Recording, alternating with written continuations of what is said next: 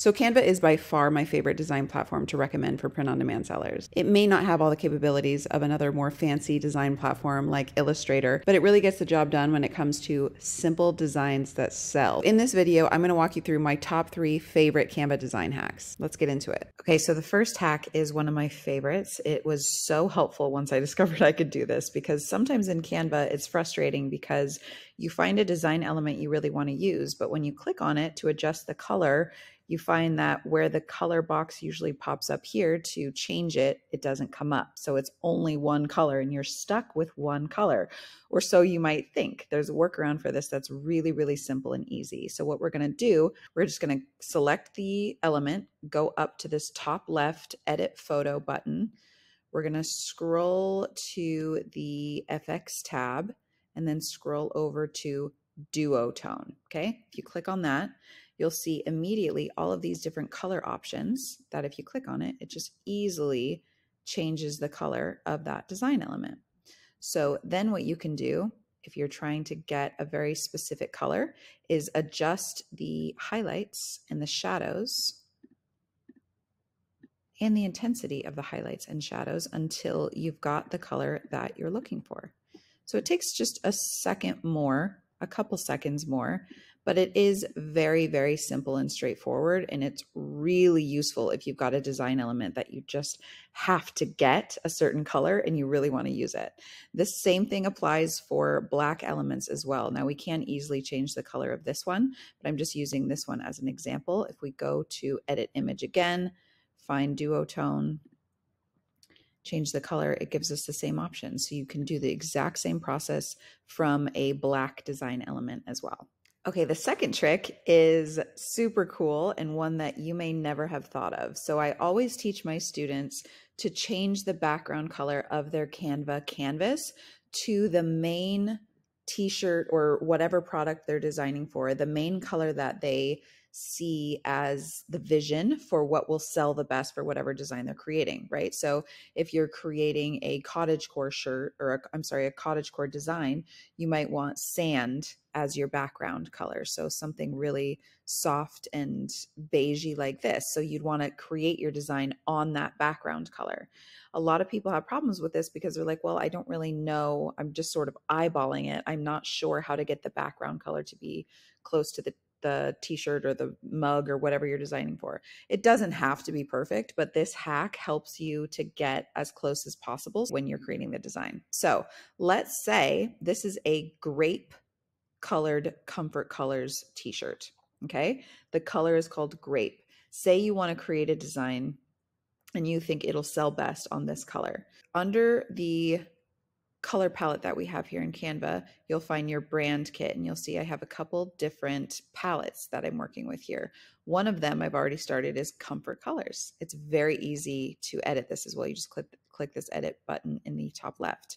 So these two comfort colors are uh, like a dark gray and I believe this is terracotta how I get these for future reference, I can just come in here and click on them to get them immediately as a background. How I get these is the trick I'm going to show you next.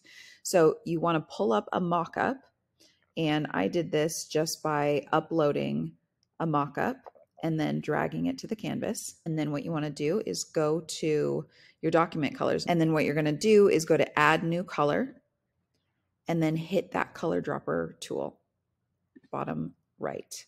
And what we're going to do is uh, go here and click on just, you don't want to get a highlighted portion. You want to get the, the best lighting possible to where it's not super bright. And what you do then is go to your brand kit, hit edit, and then hit the add new color wherever in whatever palette you want to add. And that's just going to pop up automatically. And then we're going to hit the enter button and immediately that grape color is going to be in there and you can title it even grape so you know what you're working with. How cool is that? So the second option to make this way easier, but sometimes it doesn't happen exactly like this, but you can scroll down to photo colors and you'll see Canva has automatically kind of created a palette for this photo and you can click on this color and then hit the add new color and it's going to give you that one as well. So you can use the color dropper tool or if Canva automatically creates this template or this palette for you, you can do it that way as well. Then once you've got that color in there, you're going to click anywhere outside of this area and it's going to prompt you to save the changes to the palette. And then now every time you go to create a new design, you could do this with every Gildan, Comfort Colors, Bella Canvas, whatever type of t-shirts or product you're using. You can create a palette for each one. And every time you go to create a design for that product, you're going to have all of your color options over here to the left. All right. And the final trick, one of my favorites, and I'm always shocked at how many people don't know that this is a possible thing to do in Canva, is if you're creating any sort of design where you need text box or design elements to align in a certain way. So, say you want to create this Let Your Light Shine design and you want the text box to all be equal lengths apart and aligned from side to side, right? You can eyeball that, but it's going to take you some time and you're not going to be really sure if it's perfectly aligned. So, I'm just going to move these around a little bit to show you how easy it is with this little hack. So say you've got all these text boxes, you want them perfectly aligned. What you're going to do is you're just going to select all of the text boxes and then you're going to go to position up here in the top right corner and then you're going to hit tidy up. And that's going to snap all of the text box or design elements into perfect alignment. It really is that simple. And you can do this vertically and horizontally as well. You can kind of play around with what those mean, but I usually just hit the tidy up button because it's the easiest one possible. All right, I hope you enjoyed those Canva hacks. I want to take a second to talk to you about the January 2024 Wolf Challenge. This is something that I started last year, and it was one of the biggest hits of offers I've ever launched in my Be a Wolf Biz career.